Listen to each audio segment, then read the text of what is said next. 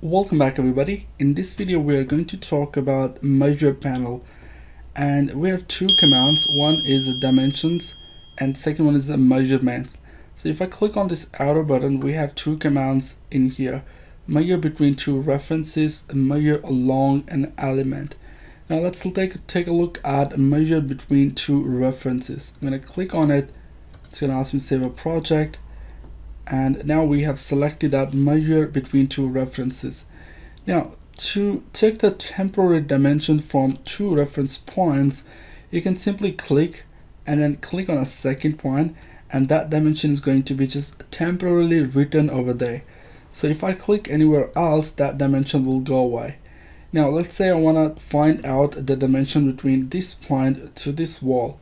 So I can click here and then take my cursor to the right and I click again and now I can see this uh, distance is 12 feet at 9 inch.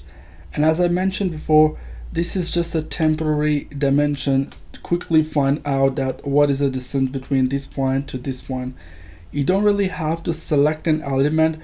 All you need is two reference points. So let's say if I want to click here and then click here and that's 43 feet and 5 inch and some fractional value here now it can show us the angle as well. So we are looking at the 45 degree angle. Now it can be any point. So let's say if I want to find out from here to here, it'll give you the distance and an angle as well. Now without this command, you won't be able to find these two uh, uh, distance between these two points because if you select this, it will only give you this temporary dimension according to the element you select. Now in a drop down menu we have another command called measure along an element. Let's draw a temporary wall outside. So I'm going to select the wall. Let's select something like a generic 90 mm brick wall. Draw a wall. And now I'm gonna go and click on modify to get out from the command go back to modify tab and then click on measure with an element so measure along an element let's click on that now if I take my cursor, now you can see I'm able to select an element, whether it's these walls or this outer wall. So once I click on that, it will draw a temporary reference dimension that it's telling me this is 90 degree angle and the distance between these two points from endpoint to endpoint is 16 feet.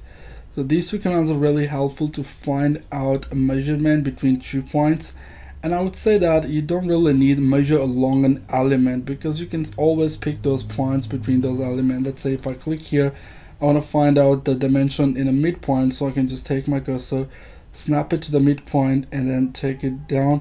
That should give us 8 feet, but I actually selected right the wrong points. Now these two commands are really useful and uh, in the next video we're going to look at dimensions.